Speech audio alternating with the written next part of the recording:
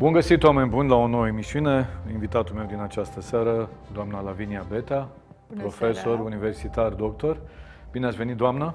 Mulțumesc pentru Nu invitație. facem un secret din faptul că am lucrat șapte ani împreună. Șapte, șapte. Șapte e ani. o cifră magică Șapte aceasta, ani bătuți șapte. pe muchia, aș putea spune. Șapte ani.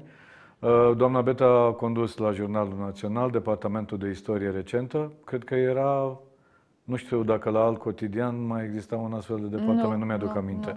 nu, nu. Cum a fost experiența asta, ca să ne împrietenim și cu publicul, să le spunem cine sunteți, cine suntem?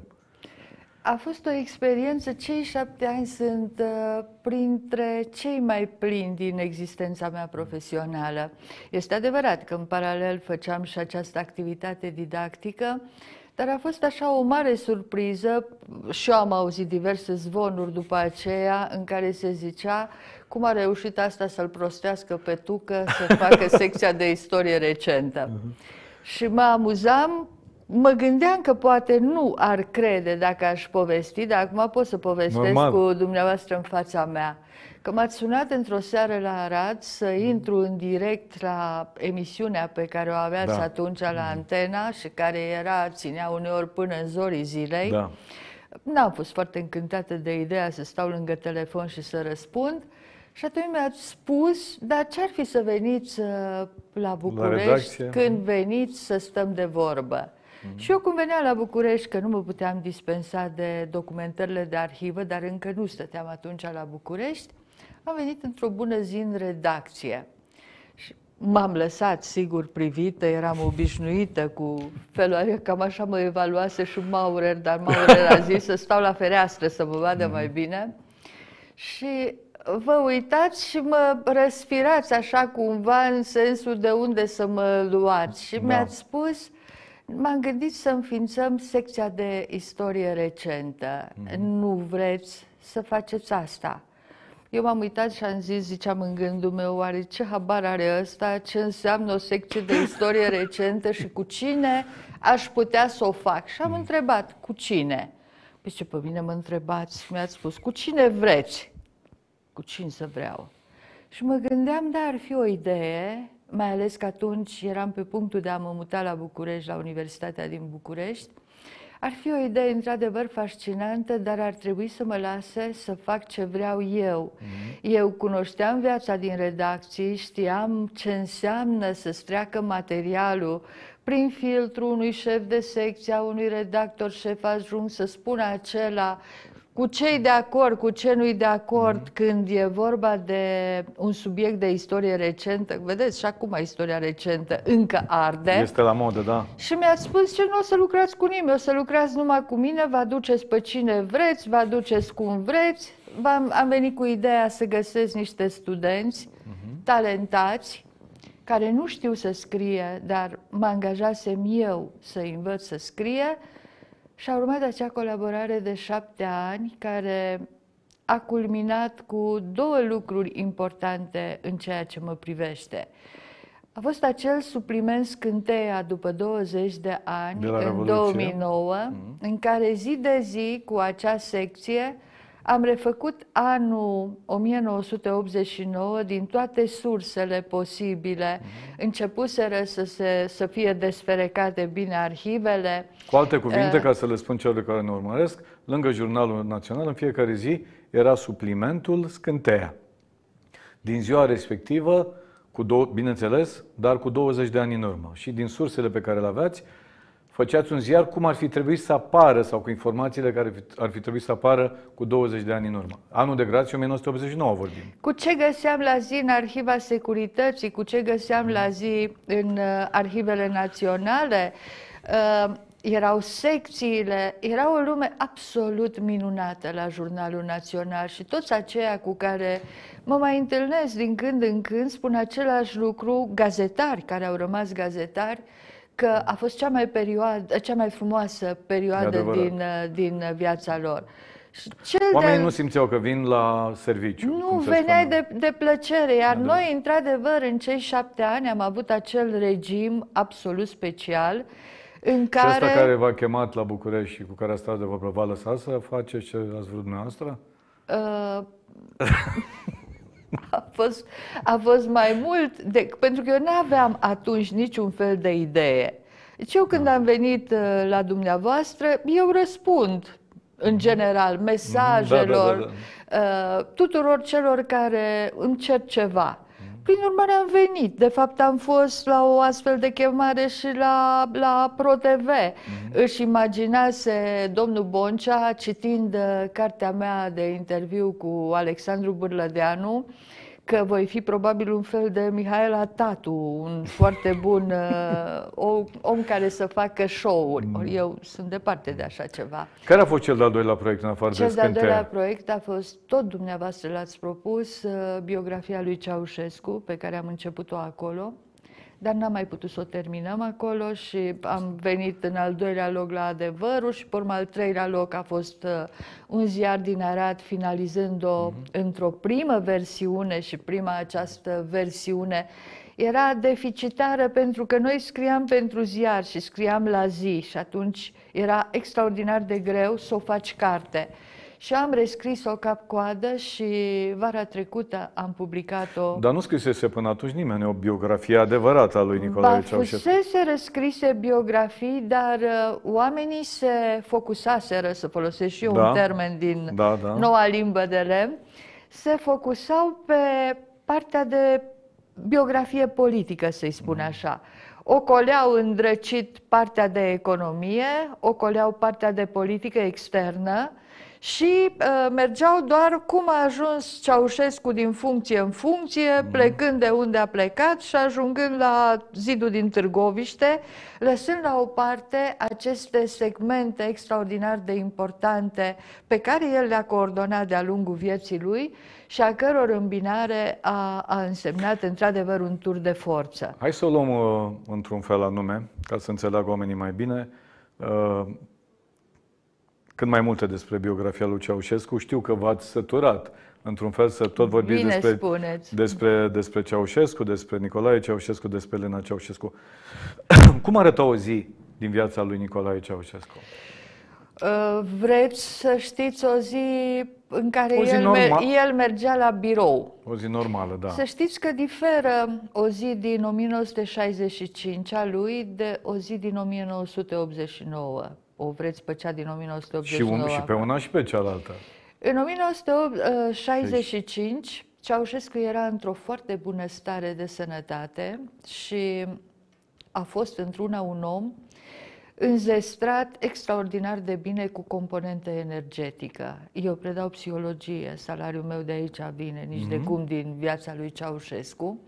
Și multă lume își imaginează că această energie este ceva care poate să-ți vină din exterior. Ori tu te naști cu această înzestrare și cu cantitatea, să spunem, și cu genul de energie și cu ritmul în care, în care ți-o consumi.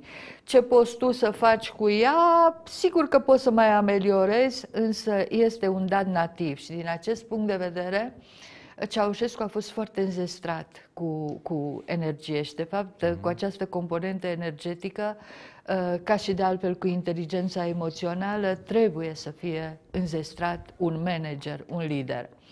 Uh, În anii 65, foarte activ, încă tânăr, era cel mai tânăr lider din uh, lagărul comunist, se trezea dimineața, se trezea de vreme, pe vremea aceea nu avea un program de gimnastică stabilit de doctor, de not, uh, venea la sediu, uh, era un timp în care și-a menținut programul, însă cam până în final, pe masă îl așteptau uh, operativele, le spuneau ei în limbajul acela birocratic, adică uh, informațiile de, de urgență, informațiile de urgență care veneau uh, de la externe, acestea erau pentru el cele mai, Priori- cele cele mai prioritare, importante, da. cele mai importante. Erau buletinele Agerpress care se făceau special pentru el cu știri, un fel de caleidoscop de știri și de nivel mondial și de nivel Le intern. citeați pe, aceast, pe acestea? Uh, se așeza cu fundul pe birou, le Da. răsfoia. De fapt, e cam greu într-o zi să... Și pe vremea aceea nu era moda aceasta americanească să-ți pui uh, Picioarele pe picioarele birou. ca să-ți fie mai odihnitor pe birou. Uh, Citea, le citea pe acestea și apoi începea să cheme miniștri în general sau pe ceilalți Mhm. La din cât ajungea cercul la de... birou? Uh, ajungea în uh, anii 80, ajungea în jur de ora 8, în, uh, și în anii 65, acum mă amintesc ce scria Șamle, că în uh, centrul Bucureștiului uh, lăuda gazetarul francez care în 1971 i-a scris uh, biografia și în limba franceză și a fost tradusă în limba română. Scria că în centrul Bucureștiului uh, cetățenii pot să-și fixeze ceasul pentru că la ora 8 mașina uh, Prezidențială? uh, nu era încă președintea României. A, era atunci. secretarul general, da. Da, mașina conducătorului uh, politic parchează la oră fixă, ora 8, înseamnă că este Avea cu birou la precizie. comitetul... Avea birou la Central. Comitetul Central. Uh, Nu era nici Elena Ceaușescu atunci cu el. Cu pe cabinetul uh, doi? Cu cabinetul 2. Pe vremea aceea Elena Ceaușescu de- era directoare la ICECHIM Mhm. Și mergea și ea la ICECHIM. N-aș ști să spun cu precizie la ce oră ajungea, bănuiesc că nimeni nu-i făcea un program, dat fiindcă și soțul ei era cine era. Uh, Întotdeauna, la început, mâncau acasă, prânzeau acasă de amiază. A, la, se duceau la prânz acasă Da, și se mâncau? ducea acasă, venea și ea de la uh, combinatul chimic, serveau împreună masa în familie, aveau, atunci nu aveau nici niște rețete care erau mai dietetice ca și în anii 80, din potrivă erau destul de rotofei amândoi. Uh, Menajera care fusese în casa lor spunea, a scris, a dat un interviu publicat într-o carte, spunea că în fiecare zi Elena Ceaușescu avea pretenția să fie gătit un dulce. Încă pe vremea aceea, uh, menajera se ocupa chiar și de mâncarea Și de lor mâncare. și gătea odată pentru două zile, dar dulcele era în fiecare zi. Erau și cei trei copii de altfel. După ce luau masa acasă, După se ce întorceau lua la muncă. masa, nu.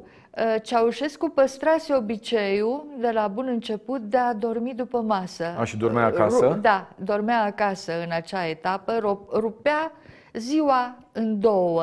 Așa cum cosașii la țară, când e crucea aceasta a miezii și e Mm. căldură mare, se trag sub un uh, sub umbra unui, unui pom și Mhm. se odihnesc. Uh, O oră, două se odihnea, după care revenea din nou la sediu. Ma se înțelege că nimeni, niciunul dintre funcționarii din sediu nu putea să-și permită să doarmă nici în anii 65, nici în anii 80. 89, dar el a menținut într-una regimul acesta. Se întorcea înapoi la sediu, în general, cea mai mare parte a zilei o petrecea în discuții. În primii ani erau niște discuții, cum s-ar zice, de la om la om. Mai chema miniștrii, discutau diverse chestiuni, mai ales de nivel economic. Să nu uităm că anii 60, anii 70 au fost anii în care am putea spune, chiar dacă folosim un clișeu din uh, vremea respectivă, că s-a schimbat fața României, într-adevăr, toate orașele au crescut cu cartiere noi, s-au uh, construit pe teritoriul întregii Românii tot felul de obiective Dar pregătirea lui în economice. materie de economie, de economie era zero. Uh, da, era zero venită din școală. Dar intuiția, Uh, nu, viața... e, nu e vorba doar de intuiție. Să presupunem că eu sau dumneavoastră de mâine mergem, nu știu, într-o uzină undeva. Și că în decursul a unui an, doi, trei, patru, nu facem altceva decât să citim uh, uh, despre producția uzinei respective. Eu cred Deci era că, un autodidact. da, eu cred că noi ne cam punem la punct, chiar dacă e vorba de o, O altă meserie, de producție altceva, de, da. de producție de avioane. Pentru că, până la urmă, dacă aduni orele, fac mai mult decât o facultate. Și el se pomenea cu o documentație și, de fapt, din 1944 încoace, fusese într-un miezul lucrurilor. Și politica aceasta comunistă, uh, ideologia comunistă impunea uh, economia. Uh, pornind de la unul din postulatele fundament, fundamentale ale acestei ideologii, că existența determină conștiința și că economicul este baza, restul, cultura, ideologia, uh, învățământul, sunt suprastructură. Și atunci a fost într-una obligat uh, și din momentul naționalizării, aflându-se în acel cerc al liderilor, plus uh, vizitele pe care le-a făcut într-una prin țară, ca și lider al UTC-ului, ca și secretar cu organizatoricul, unde în țară fiind, n-a stat în casele de oaspeți, dincolo de ședințe. Și asta a durat din anii 40 până în 1965. Până în 1965. Bun. Deci cunoștea țara, o, o, o străbătuse. Uh, și Încerc erau... să, vă, să vă mai întrerup pentru că ne trebuie trei ore. Sigur. Și atunci vreau să sintetizăm un pic, să luăm. Deci să, să, să, după ce se ducea acasă, lua masă împreună cu soția, uh, cu Elena Ceaușescu, se odihnea o oră, două, se întorcea și avea aceste dialoguri cu miniștri, om la om, cum plus spune. Ședințele, plus, plus ședințele. ședințele care erau. Până la ce oră stătea la birou la Comitetul Central? Uh, nu știu până la ce oră stătea în anii 65. În este, în anii cert, 80. este cert că stătea până, până târziu, dat fiind felul lui de a fi, dacă în anii 80 el stătea până la 6-7 seara. La șase asta putem să știm pentru că avem uh, agendele pe care le țineau șefii de cabinet și care consemnau fiecare intrare și ieșire și de la Nicolae și de la Elena Ceaușescu și atunci avem cu certitudine orele lor de plecare studiat, și cam tot... A, a studiat aceste... Sigur că da, aveam chiar o rubrică în uh, suplimentul acela de care vorbeam, agenda Elenei Ceaușescu, în care... Eu știu, dar vă întreb pentru sigur, public, da. în fiecare zi scriam uh, ce se întâmpla în cabinetul Elenei Ceaușescu, uh, încercând cumva printre rândurile pe care le să făcuse șeful de să... cabinet să dezvolt. Și din asta mi-a ieșit mai, mi-a ieșit mai uh, târziu o carte, Agenda Tovarășei în 1989, o carte destul de interesantă, zic eu, uh, ținând seama că a fost produsă pe baza unui uh, document ca acela și este și originală. N-am mai văzut așa ceva Când s-a mutat acum. Elena Ceaușescu la Comitetul Central și a devenit cabinetul 2? Am înțeles că era un cabinet era lângă, lângă cabinetul lui Lângă lui. Elena Ceaușescu a intrat prin 1972 în Comitetul Central, apoi în 1974 a intrat în uh, Areopagul Puterii, în Comitetul Politic uh, mhm. Executiv. Uh, a intrat întâi ca și șef de secție la cadre doi ani de zile, un fel de ajutor de șef de secție, de fapt, ca să învețe, nu? Mm-hmm. Și după aceea a fost șeful secției de cadre, calitate în care ea practic a preluat uh, partea de politică internă, ca să spun așa. Uh, cel care era secretarul coorganizatoricul și care o avea pe ea în subordine de iure, pentru că da. de fapt facto ea era ea conducea. tovarășa, uh, era Bobu care se apleca în Corespunzător. unghi de 90 de grade în fața ei și a început, de fapt, împreună cu el, o domnie care mie mi-a lăsat, uh, mi-a creat imaginea unui, uh, unei reprezentări bicefale, o putere cu două capete, el și ea. Iar în final, când uh, bolii lui, bolile lui evoluează și pe fondul avansării în vârstă, și desigur este stresul foarte mare în orice activitate managerială, contrar oamenilor care n-au fost niciodată și care zic ce bine este să fii șef, uh, fiind tot mai bolnav, i-a încercat să îndepărteze de lângă el și să nu-i aducă la cunoștință orice veste neplăcută care putea să-l facă să somatizeze, adică să-i crească glicemia, să-i crească tensiunea, să eu știu ce altceva, pentru că de analizele lor uh, nu avem cunoștință. uh, ea s-a erijat într-un fel de cenzor și într-un fel de cerber la controla cine intra la el, avusese probabil un aranjament cu cei de la cabinetul lui, ori aceea n-ar fi îndrăznit să o refuze, să fie anunțată de fiecare dată când, Când vin vrea să vină anumite cineva. persoane care ea știa chiar pu- putea aduce uh, vești neplăcute și ceruse, și asta o spune Curticianu, fostului, uh, uh, fostul șef al Cancelariei CC-ului, ceruse ca să nu mai ajungă pe masa lui niciun document înainte de a fi ajuns pe masa ei.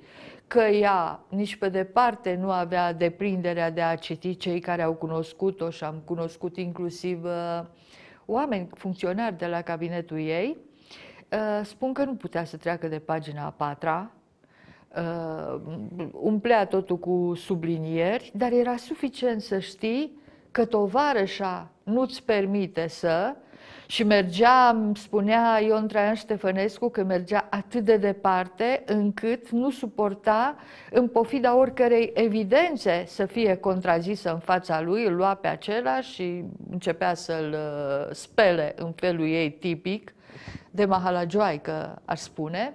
Cum ți-ai permis să spui așa ceva, să mă contrazici în fața tovarășului? De unde știi tu ce este între noi?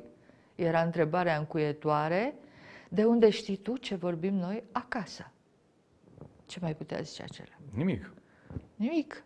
Se bloca. Aveau prieteni, doamna Beta? Nu. Și Trist. uh, nu cred că există prietenii la astfel de, de Personaje ale nivel și istoriei. la astfel de personaje. La un moment dat am stat de vorbă cu un personaj foarte spumos, soțul Ilincăi Preoteasa, tot datorită dumneavoastră am cunoscut, care îmi povestea de o aniversare a lui Ceaușescu. Și că au dus-o la aniversarea lui, era de altfel invit- invitată, uh, pe mama uh, Ilincăi, uh, nu mama, bunica Ilincăi uh, preoteasa, care uh, a venit cu un buchețel de flori, Ceaușescu i-a sărutat mâna și a spus, măicuță, prima pâine în libertate de la Matale a mâncat-o pentru că el de la Târgu Jiu plecase cu această femeie care venise cu căruța să-și viziteze fica și aflase și care un viitor ginere acolo pe Grigore Preoteasa. Și povestea, acum mă întorc la uh, soțul Ilincăi Preoteasa, ei, zice, după scena aceasta nu vă spun că succes am avut noi și câte televizoare am putut să cerem de la ministrul de resort să facă aprobări pentru uh, cunoscuți și prieteni de-ai noștri pentru că știau că suntem pe val. Deci, prieteniile acestea într-o lume uh, care se află într-una în criză, în penurie de diverse produse, uh, în momentul în care cineva știe că tu ești prieten cu Ceaușescu, uh, practic tu poți să uh, emiți niște cereri în numele Și să lui beneficiezi Ceaușescu, de să această- beneficiezi de locuințe, de prioritate la uh, o mașină Dacia, de o aprobare pentru a-ți cumpăra o mașină Aro, o aprobare pentru a-ți cumpăra un televizor color, uh, un schimb de locuință. Sunt lucruri, o, o angajare a cuiva pe post de secretare, sunt lucruri care pentru timpul de acum apar de-a dreptul ridicole, pentru timpul de atunci însă erau niște beneficii formidabile. Și în momentul în care uh, se știa că tu ai o relație mai apropiată și vedeți iarăși acum îmi vine în minte uh, un foarte bun exemplu.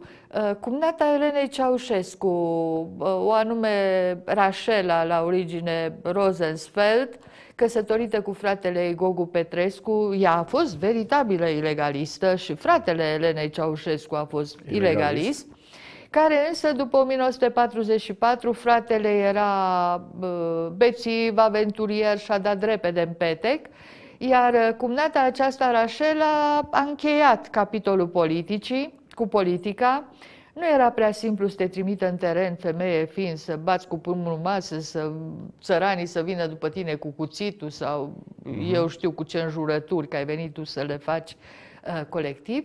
Rașela a rămas acasă și era cunoscută drept Adela. Și despre această Adela se spunea că făcea niște formidabile afaceri și mi-au spus-o consătenii uh, lui Gogu Petrescu din Petrești, că dacă vroiai să obții ceva, te duceai cu ploconul la, la Adela. Adela. Mm-hmm. Adela te primea, asta îmi povestea preotul din Petrești, care se mhm. căsătorise cu o nepoată mai îndepărtată de a Elenei Ceaușescu. Și rezolva afacerile. Te duceai, Adela zicea, păi numai atâta, mi-ai cam adus. Adusul acesta probabil că erau niște produse uh, locale și totul se rezolva pe bază de Adela. Uh-huh. Uh, v-am zis că nu ne-ar ajunge trei ore. Spuneți-mi, din biografiile apărute până în 89 des, despre Ceaușescu, care erau lucrurile falsificate grosolan din biografia, din aceste biografii? Păi, totul era falsificat. La, în, la început, lucrurile erau falsificate pentru a-ți demonstra că Nicolae Ceaușescu a fost din uh, frage de pruncie o mare capacitate intelectuală, uh, care a presimțit uh, din comuna sa natală inegalitatea socială, care avea un spirit organizatoric formidabil și se dădea, biograf acesta francez, dădea, punea în gura pretinsului învățător, pentru că eu am văzut și catalogele și ce învățători a avut, n-a fost învățătorul lui Ceaușescu, povești în genul cum împărțea Ceaușescu sarcinile la clacă și cum îi se prevestea un extraordinar viitor, viitor. pe mhm. baza acestei capacități organizatorice. Uh, cea mai mincinoasă chestiune putea să fie aceea care ținea de determinarea lui uh, definitivă și absolută pentru comunism de la cea mai fragedă vârstă, el a știut... ce era un că... fals, nu era adevărat. Sigur, el nu avea de unde să știe că va deveni lider comunist, că România va ajunge condusă de Partidul Comunist, acela fiind un partid minuscul, în uh, perioada interbelică, un partid interzis și în care bietul copil, spun bietul copil acum gândindu-mă, am și eu un nepot de 14 ani. Să vă trăiască uh, Vă mulțumesc, dar mă gândesc unde îl trimiți pe ăsta la ora asta să-și câștige existența.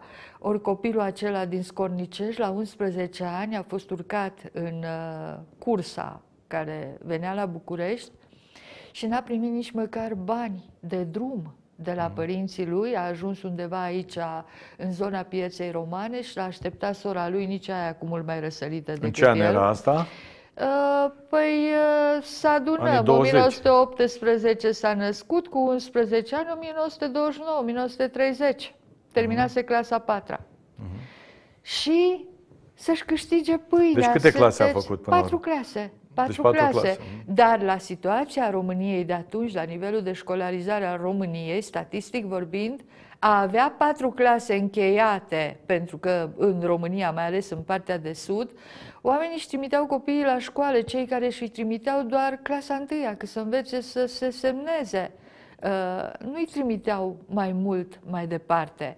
Uh, ori să termin patru clase, era procentual vorbind pe segmentul de vârstă tânără, probabil cam cât termină astăzi uh, uh, masterul. Deci a fost, a fost urcat în tren, avea 11 nu, ani? Nu, în cursă, în, în autobuz, cursă. Mhm. într-un autobuz. Fără niciun ban, a ajuns la sora lui, la București? Nu voia șoferul să-i dea drumul să coboare din autobuz, că nu avea cu ce să-i plătească. Fetița aceea, de unde să aibă și ea bani, se duce înapoi la patroana ei, că și ea lucra într-un atelier. Întâi lucrase într-o legătorie de cărți, apoi într-o cizmărie, se duce și o roagă să-i dea niște bănuți că frate s-a ajuns și nu-l lasă șoferul păi dacă să nu-i coboare. bani, poate să întorcea la scornice și scăpam. Uh, nu știu dacă l-ar fi cărat șoferul pe gratis, cine știe.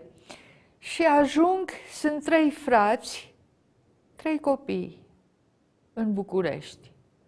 Și eu mă uit. Minori. Minori. Se încălca legislația. și legislația de atunci era încăl- încălcată să pui niște copii minori ca să-și câștige existența. E, gazetarii după, 9, după 89, fără pic de empatie, au început să scrie, a plecat din Scornicești, nu i-a plăcut munca câmpului.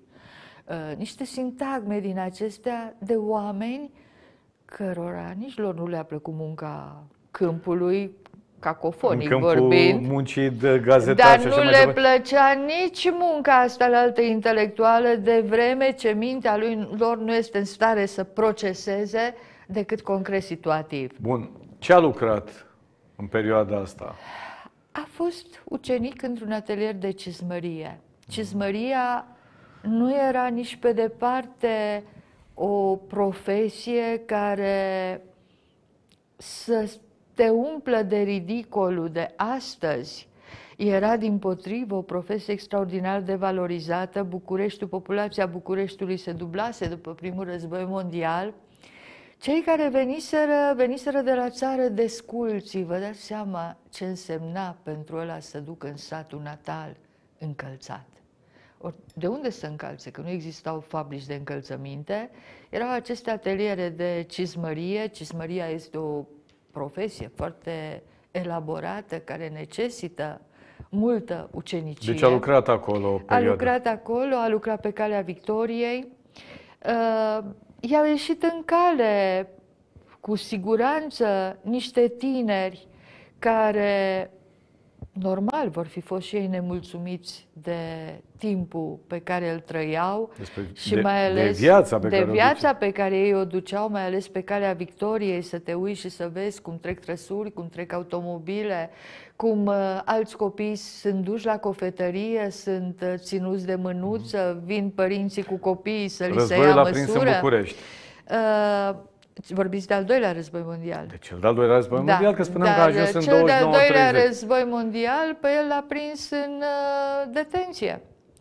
Pentru că el intrând, mi imaginez că a fost prins în uh, niște activități politice, ducându-se ca și alți tineri de vârsta lui, căutând niște posibilități de distracție. Ori partidele acestea și socialdemocrații și comuniștii prin uh, formațiile semilegale pe care încercau să le patroneze, organizau sărbări câmpenești, organizau serate, organizau ceaiuri, organizau seri de poezie, mm. se discutau cărți, tot felul de întâlniri. Era o atracție extraordinară, cum era pe timpul nostru cenacrurilor, nu exista televizor. Și cum a ajuns la închisoare?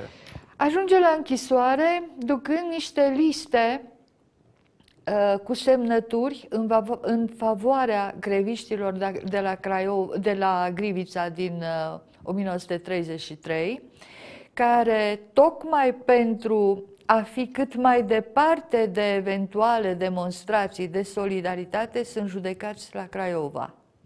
Și el este trimis cu aceste liste și este uh, arestat, este o prima arestare și pe urmă, sigur că el intră în evidențele, în evidențele poliției, ale siguranței, Partidul Comunist este interzis, este perioada de ascensiune a extremei drepte, el uh, face parte dintr-un uh, comitet antifascist, uh, care de asemenea își ținea niște întruniri și acolo era viitorul compozitor Matei Socor și se recitau poezii și se cântau diverse cântece, mă rog, o atmosferă care nu era hora de acasă, pentru că el nu apucase petrecerile rurale, dar era totuși ceva cultural care, dincolo de mesajul politic, cu certitudine că atrăgea un tânăr. Și sigur că este o predispoziție nativă, ca la orice politician înzestrat, ideea aceasta că uh, tu poți să faci bine pentru ceilalți. Vorbesc de politicienii veritabili. El avea chestia, uh, chestiunea asta? A, avea, avea. Și trebuie să o ai de asemenea în sânge, cum se spune nativ. În termen de psihologie, uh, lucrurile acestea se înscriu în ceea ce se numește comportamente prosociale.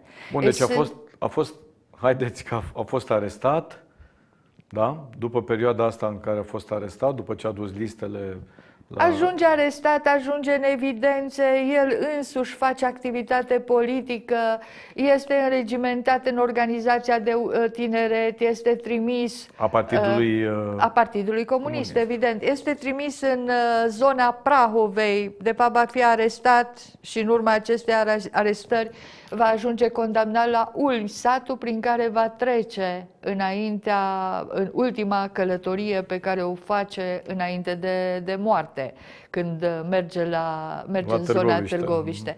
În totul vreau să vă spun că a petrecut în lagăre și închisori uh, peste șase ani, uh, o perioadă sub niște acuzații care, într-o societate democrată, N-ar duce la închisoare. A avut condamnări definitive? La... Sigur că da. A avut uh, condamnare definitivă când a ajuns la Doftana, a fost uh, procesul de la Brașov și uh, ajunge în Doftana și pe urmă venind și război, el nu mai este eliberat, chiar dacă uh, ca și Gheorghiu Deș și ca și alți uh, viitori lideri comuniști arestați, Deși condamnarea lor este executată, ei sunt uh, internați continuare... sine die, pentru că noi purtam atunci un război împotriva URSS-ului și a fost o etapă după intrarea României în război alături de Germania nazistă, în care era suficient să fii bănuit de simpatii comuniste ca să fii uh, arestat și internat în, uh, în lagărul din, uh, din Târgu Jiu. Uh-huh. Și din, de la război și până în 65, când ajunge în conducerea Partidului Comunist, secretar general? O, e mare. Cu toate că... E mare, dar cu, cu... timpul e mic. Păi, eu zic că nu are sens să-i povestim câteva, câteva, câteva lucruri, câteva toată, lucruri esențiale din această viața. perioadă, că după aia am alte uh, întrebări legate. Vreau să vă spun că peste tot și erau, a fost o perioadă după cel de-al doilea război mondial extrem de dură în care sprijiniți pe față și pe subteran de către sovietici, comuniștii au făcut tot felul de, de, de mișcări pentru care a fost cea mai importantă mișcare sau eveniment în care a fost, a fost el implicat în perioada asta? Păi el a fost mutat dintr-o parte în alta după cum apăreau dificultățile. A fost pus lider al UTC-ului în condițiile în care trebuiau atrași cât mai mulți tineri în, uh, în mișcarea care comunistă. Care erau calitățile lui? Terminase patru clase, dar vorbeați de uh, această... Terminase patru clase, perioada aceea însă de ședere în lagăre de, și închisori trebuie considerat un fel de etapă de formare, pentru că el ajunge uh, închis împreună cu oameni care erau unii dintre ei destul de, de doxați, Uh, erau mulți evrei închiși, oameni care aveau o cultură, o cultură generală și o cultură de, de specialitate bună și de unde el a avut multe de învățat. în, uh, în închisoare și lagăr și a fost timpul în care el a citit, că în satul natal unde era să citească, uh, el este un fel de pion mișcat dintr-o parte în alta în 1950, când încep fricțiunile cu Tito și când uh, Uh, liderii de etnie evreiască sunt dați la o parte și când se prefigurează chiar un război cu Iugoslavia, uh, el devine șeful Direcției Superioare Politice a Armatei și deși nu făcuse o zi de soldat, Mm-hmm. Uh, devine da, dar pe linie politică. Pe Elena Ceaușescu general. când a, era general deja atunci. Uh, da, fost când șeful... ajunge șef al DSPA. Uh, pe Elena Ceaușescu a cunoscut-o în uh, într-o sărbare din aceasta câmpenească, acolo a dat dovadă că o iubește, de fapt. În ce an era asta? Uh, în 1939, din memorie vorbind. O cunoscuse însă mai devreme, împrejurările sunt cu totul neclare. Eu cred că a cunoscut-o de la fratele Elenei Ceaușescu, de la Gogu Petrescu, cu care Nicolae Ceaușescu a lucrat în uh, ilegalitate. Uh, și Elena Ceaușescu a avut o perioadă în care, după ce a venit de la Petrești, a locuit cu fratele și cu iubita acestuia, că nu erau căsătoriți, deși mm. uh, au avut și un copil. Ei, Elena Ceaușescu trebuie să-i fi părut un fel de zână tânărului uh, Nicolae, într totul corespunzătoare viziunii lui novatoare, că este evident că nu mai păstra viziunea aceea țărănească despre o femeie. Deci asta se întâmpla în 39 și de atunci au rămas împreună până în 89 când au fost împreună executați. până la zidul din, uh, din Târgoviște, împlinind mitul acela antic, dorința cea mai mare de a, muri, de a nu vedea niciunul moartea celuilalt. Au murit împreună. S-au iubit, nu?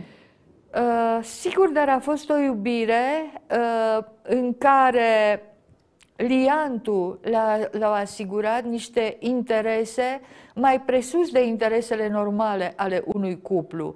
Pentru că ei, făcând acești pași împreună, eu bănuiesc că Elena Ceaușescu a avut un mare rol în uh, accederea lui Ceaușescu în uh, primul loc din ierarhia partidului, pentru că ea a fost într-una extraordinar de, de manipulatoare, sesiza uh, oportunitățile, cred că încă mai bine decât el mm-hmm. și a avut într-una cuplaje cu femei ai căror bărbați aveau uh, cuvinte bine. importante de spus într-un moment sau altul în politică. Aveau influență. Sigur, de mare, de mare influență. Viața lor s-au mutat până la urmă, s-au mutat în cele din urmă în Palatul Primăverii. Îl vedem acum, îl vizitează lumea.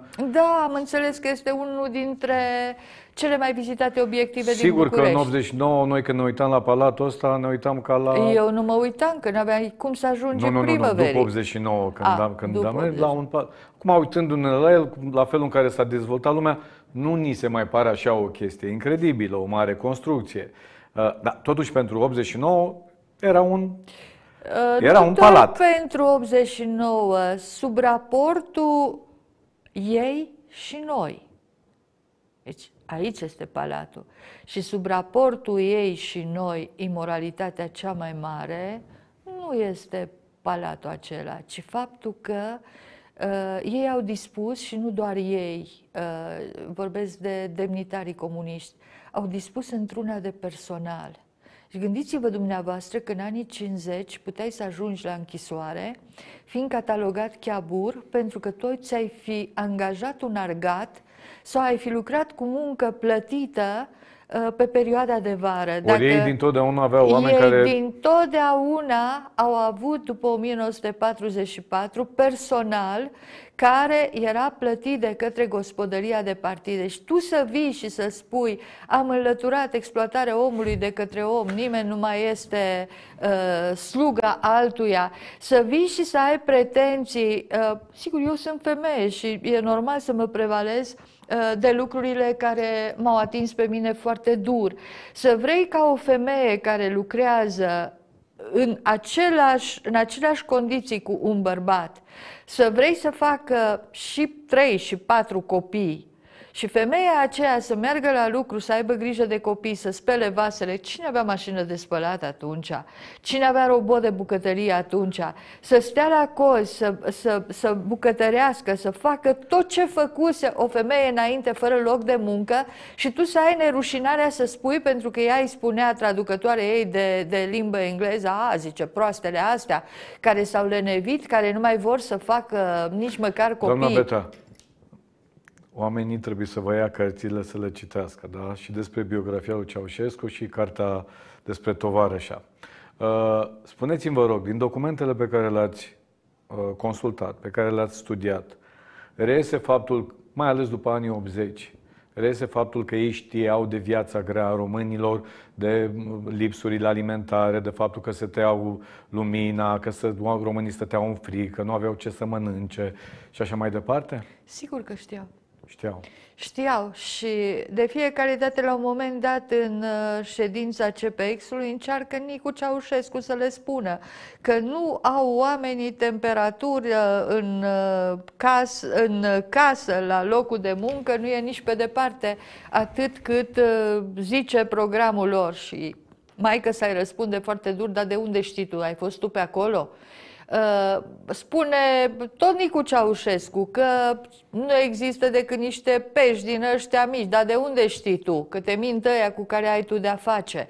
Încearcă Lina Ciobanu să le spună când o critică nu are planul făcut la încălțăminte de piele, că nu se taie bovine. sare Silviu Curticianu și spune că planul este făcut și știau, cum să nu știe, ei erau cei care și există monologele lor din, din CPX, pentru că nimeni nu îndrăznea să vină și să le mai spună n-aveți dreptate. Ei susțineau fiecare... Cum s-a ajuns aici? Păi, Eu mi-aduc acestea... aminte de acel moment, de CEPEX-ul din 21 decembrie 1989, când Ceaușescu a mimat la un moment dat că pleacă și îi lasă pe ei să descurce și toți, toți aproape că s-au prăvălit la picioarele lui, rugându-l, implorându-l să vină, să, să ocupe și așa mai departe. Cum s-a ajuns aici? Astfel încât nimeni excepție Nicu Ceaușescu, poate unul altul. Cum s-a ajuns? Este acest uzaj al puterii nelimitate. Uh, dumneavoastră vedeți, vă uitați în uh, jur, uh, aveți posibilitatea să vedeți diverse personaje care stau în politică, să zicem, sunt miniștri câteva luni de Adevărat, zile. Uitați-vă la câte unii ce atitudine pot să aibă. Dar eu mă uit câteodată, eu mă uit câteodată că dau sonorul, nici măcar nu mă interesează ce spun. Dar mă uit la atitudine când vă răspund dumneavoastră în, în interviuri sau altora. Uh, vin cu o morgă, vin cu o anvergură, uh, toată ființa lor spune, uită-te la mine, sunt un zeu, sunt un om, tu ești un nimeni. Deci după mai bine de 20 de ani de putere, Uh, după, da, după mai bine de 20 de ani de putere neîngrădită în care Absolut, el chiar. deține... Sigur că da, era o putere... Și el și ea, că era, era o putere bicefală. O putere, o putere mai mare decât a unui uh, împărat sau a unui rege. Pentru că acela nu dispunea în timpul în care trăia de mijloacele de informare și de mijloacele de control pe care, și de subordonare pe care le, le avea Ceaușescu în secolul 20. Era o putere cum uh, ferească Dumnezeu să mai existe vreodată. Uh, acesta cred că ar, vrea, ar, ar fi mesajul pe care aș vrea să-l, să-l, să-l transmit. Uh, personajul Ceaușescu, personajul Ceaușescu, m-am gândit, dacă s-ar fi născut în America, avea toate premizele pentru a deveni miliardar. Uh, maniera în care el face afaceri, în care negociază, gândiți-vă că a obligat Fondul Monetar Internațional să schimbe regulamentele. Cât de bun nego- negociator ar, ar fi putut fi pentru el însuși, pentru de fapt, el așa, pentru, pentru business în condițiile economiei de piață la modul, la modul personal. Uh, deci ar fi putut, ar fi putut să fie orice. Pers- nu personajul în sine uh, este toxic, să folosesc iarăși alt cuvânt uh, mult utilizat astăzi. Toxic este mediul în care el evoluează și pe care el îl perfectează. Și de toxicitatea unui astfel de mediu, cred că nimeni nu poate să se ferească. Cel mult poți să nu vrei să ajungi acolo.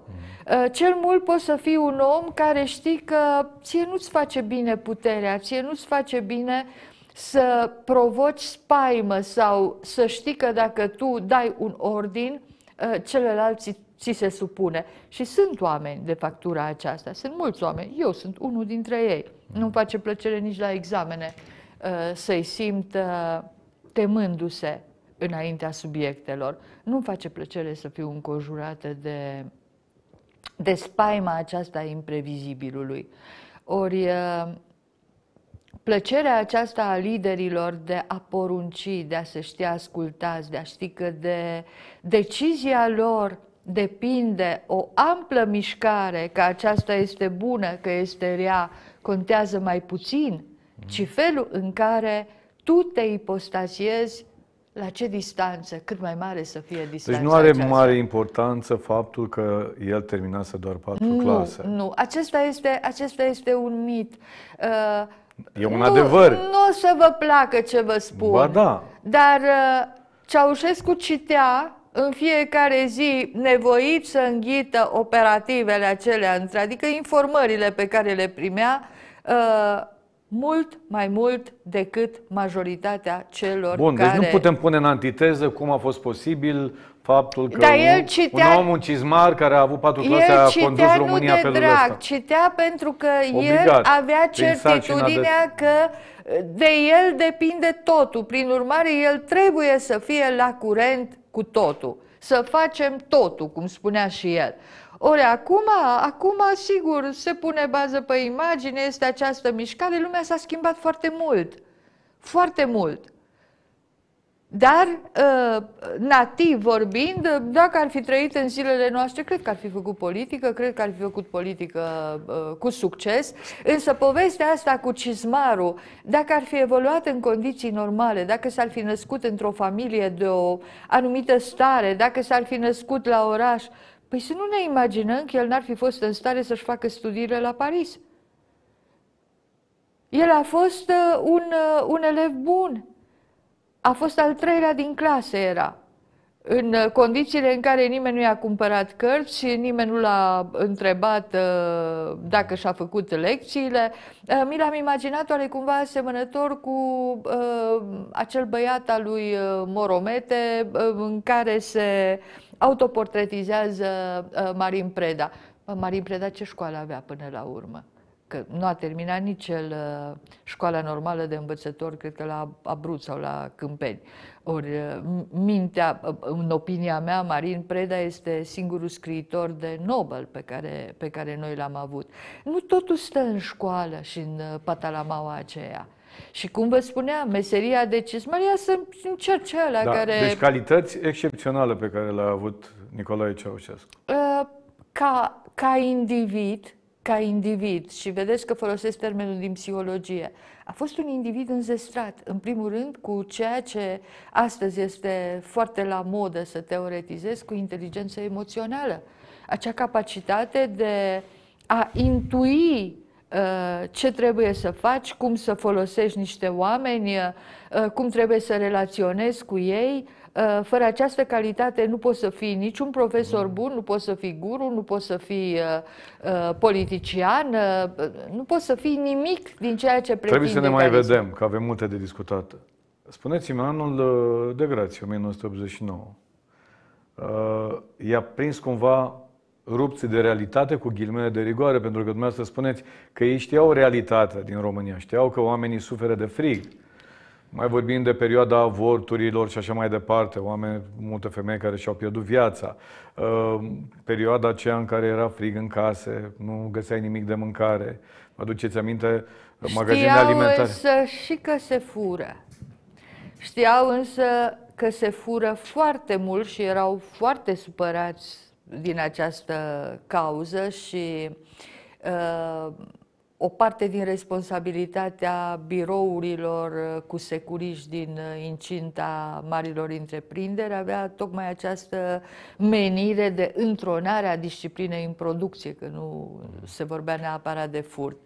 Uh, ei erau oarecumva rupți de lume în sensul că își imaginau că, deși Gorbaciov pornise această restructurare și uh, fusese foarte franc, în, încă din 1986 îi anunțase și pe ceilalți lideri și la nivelul tratatului de la Varșovia și la nivelul caerului că pentru a reforma uh, societatea este nevoie de o reformă în care să intre toate celelalte țări care fac parte din aceste Gorbaciov a organisme fost în vizită suprastatale. aici. El a fost chiar în noiembrie 89 sau în decembrie. În decembrie, în a 4 fost la decembrie Moscova. 1989.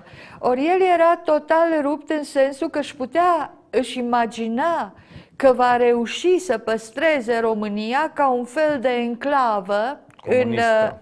uh, o enclavă comunistă, la fel cum era Cuba, și chiar spune într-o ședință, îl admira pe Castro pentru că a făcut să fie duși în fața plutonului de execuție niște adepți perestroica și era de acord și cu ceea ce se întâmplase în piața Tiananmen, nu era însă de acord cu deschiderea chinezilor către economie de piață și către relațiile cu lumea capitalistă și cu luarea de noi împrumuturi.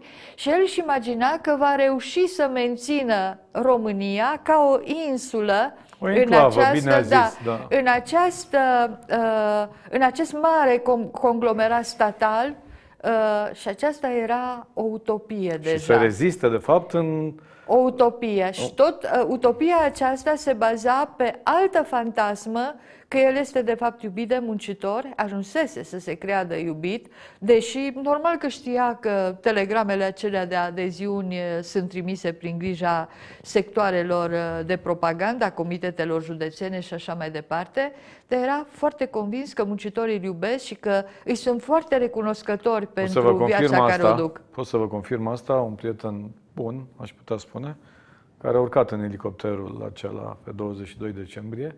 Știți că prima escală au făcut-o la Znagov, la Znagov. știți foarte bine. E, și el, acolo la Znagov, a făcut un popas. Știți ce a făcut când a ajuns la Znagov? A început să sune la mari orașe, la marile întreprinderi. Să vadă care e atmosfera. Să vadă care e atmosfera, care e starea de spirit, eventual să vină muncitorii să-l salveze, să-l apere păi, și așa abusese o idee în care reitera practicile din anii 50 să se confecționeze bâte, printre altele băiași la combinatul uh, uh, de prelucrare a lemnului din Arad și să se ducă muncitorii din Arad și din Craiova să-i bumbăcească pe cei din, uh, din Timișoara. Cei, din, cei care demonstrau. Nu, era ceva de ordinul nebuniei și din acest punct de vedere aș spune că Uh, gândirea lui era oarecumva profund alterată și de vârstă, și de bolile pe care le avea, și de acest uzaj al puterii. Deci, practic, n-a înțeles deloc momentul decembrie 89. Nu. A trecut pe lumea cealaltă foarte convins că e vorba de, ace- de huliganii de care el ne vorbea și că se vor răzvrăti muncitorii adevărați și că dacă el pierde Uh, țara își pierde independența, că el este un fel de stâlp al independenței României, că altfel vin rușii și ne preiau rușii. Cred că s-ar amuza teribil să vadă acum psihoza din zilele noastre cu ne atacă și pe noi ruși. Deci, acele zile, pentru că am studiat și am vorbit și împreună de multe ori despre decembrie, acel decembrie 89, dar Revoluția, eu îi spun încă și eu spun evenimentele spun, din decembrie. Evenimentele din da. decembrie i-a prins total, total rupți cumva de realitatea României din acele zile. Nu mai aveau nicio legătură și asta demonstrează și felul în care au acționat. El era plecat în Iran, vizita aceea celebră, vă aduceți aminte, ținea legătura cu Elena Ceaușescu, vorbeau în fiecare zi la telefon. Printre alții am intervievat, l-am intervievat și pe ministrul lui de externe din acel moment, Ion Stoian, care a fost cu el în Iran. L-a decuplat și pe Stoian de la centrală, de la Ministerul de Externe. Nu mai primea telegrame, n-a mai putut ține legătura cu nimeni din, din România. Cât au stat în uh, Iran? Da, cât au stat în Iran. A fost fatală acea vizită sau a fost... Uh, oricum lucrurile erau în derulare? Oricum întâmplă? lucrurile erau în derulare, oricum nu mai putea face nimic, nu a înțeles nevoia oamenilor de libertate. Uh, nu și-a putut imagina că și un om ca mine poate să-și dorească să fie ceva mai mult decât mi-a trasat el. Eu am tot încercat să aflu de ce în 1989-81 pentru absolvenții de învățământ superior s-au închis orașele mari.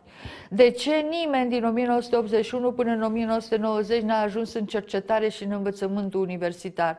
Poate că aș fi vrut și eu, nu eu doar, câți mai buni decât mine, care ar fi meritat. Deci a fost o generație 10 uh, ani de zile de oameni cu aptitudini, cu talent de cercetători care practic n-au avut... Uh, deci practic a ajuns în fața plutonului de execuție, că a fost un pluton de execuție, fără să știe nici unul, nici celălalt ce se întâmplă cu ei. Da, au trecut pe lumea cealaltă fără a ști aproape că trec. Uh, cred că erau... Despre asta și spus. Unele mărturii spun că ea în momentul în care a fost împușcată, era deja pleșinată, nu a mai fost uh, conștientă. Uh, cât despre el, ați văzut, s-a dus uh, cântând internațională, trăia într-o altă, într-o realitate paralelă. Se imagina personajul acela mesianic care a schimbat România, care uh, uh, îi prevedea a, a și o, o, o ducea pe cele mai înalte culmi și el chiar credea în comunism. Eu asta, a, pentru mine acesta a fost șocul cel mai mare. El chiar credea că ar putea exista un timp și ar putea exista niște oameni care se mulțumesc cu un costum, dar făcea calcule în 1989, uh, foarte interesant este că făcea uh, niște calcule din acestea aberante de câte costume de haine ar avea nevoie uh, un om într-un an, uh, socotise care avea nevoie de un costum de iarnă, unul de vară, de două, trei perechi de încălțări, mai socotea câți oameni s-ar putea încălzi de la un bec și alte asemenea lucruri aberante. Deci uh, undeva se produsese o ruptură pentru el, oamenii nu mai erau oameni, era gloata aceea care îl aplauda, care trebuia să meargă la muncă, nu mai realiza că oamenii ar putea să aibă uh, o existență interioară, niște visuri ale lor, niște dorințe ale lor. Doamna Beta, vă mulțumesc mult de tot. Ca de fiecare dată, întâlnirea noastră, uite, uh, aduce atât de multe informații Întâlnirea cu dumneavoastră aduce atât de multe informații, vom mai sta de vorbă. Data Mulțumesc viitoare vă rog să veniți și cu cărțile, să le prezentăm, să le arătăm oamenilor. Ele se găsesc în continuare în librării, cărțile dumneavoastră. Da, poate că data viitoare mai vorbim și despre altceva decât vorbim despre, despre altceva pentru că uitați ce se întâmplă în lume și atunci putem să plecăm. Putem vorbi despre cum să înființăm noi și un telefon al părinților agresați de copii, că Eu cred că sunt mai numeroși la ora aceasta decât... Uh, Ziceți? Eu așa cred. După Mulțumesc ce văd. mult. A fost uh, profesor universitar dr. Lavinia Betea, istoric. Uh, ne vedem mâine seară cu Ion Cristoiu. Până atunci, țineți aproape.